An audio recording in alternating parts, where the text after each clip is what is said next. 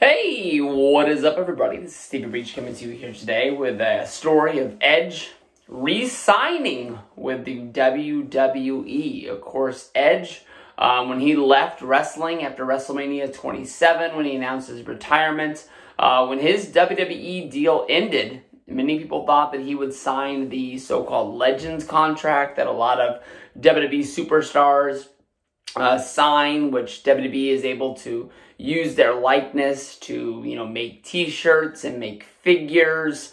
Um, but Edge didn't sign that deal. You know, he made returns. He was on like the big SmackDown uh, show uh, to hype up, you know, SmackDown moving to Fox and their, you know, 25th year anniversary or, or whatever it was. He's made appearances, but um, he basically thought that the Legends deal uh, wasn't what he thought it should be. And there are a lot of people under the Legends deal which show up and do um, things like the pre-show or a big Monday Night Raw um, that just sort of cash the check and just think of it. But maybe Edge thought if they want to bring me in, they're gonna bring me in, whether it's to hype up his TV show Vikings or you know to hype up the Edge and Christian show on the WWE network.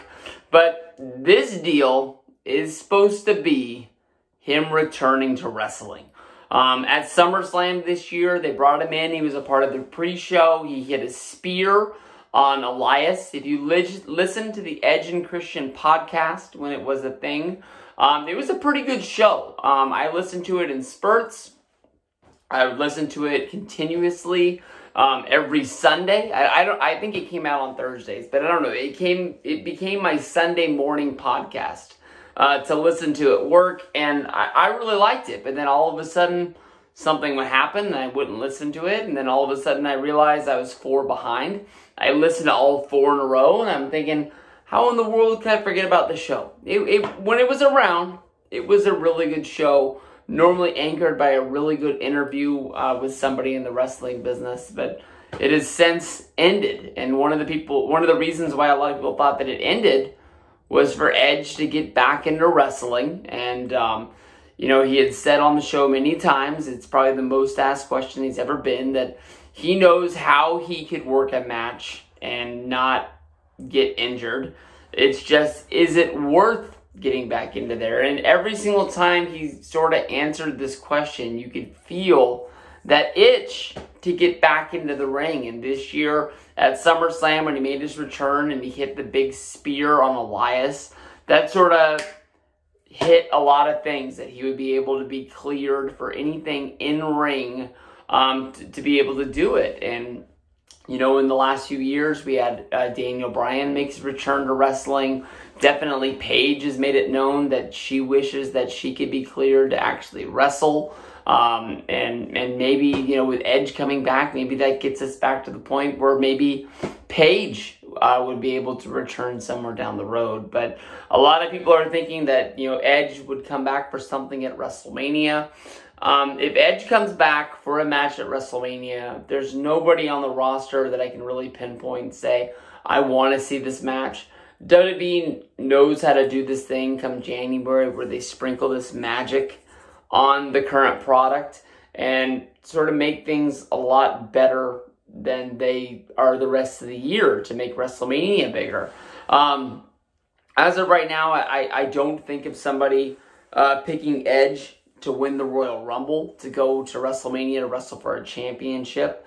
Um, I don't really think two retired guys, Edge versus CM Punk, um, would, would be something that would be that fun. I don't know if he shows up on backstage. They don't agree on something, so they just start throwing fists. Uh, that doesn't make a lot of sense. And I don't really see Edge returning to wrestling just to call out I can maybe see Edge versus Seth Rollins. That's about it. But everything else doesn't really make a lot of sense, and we're going to have to see how it just sort of plays out. But getting Edge back, I mean, there's a lot of good things that come with it.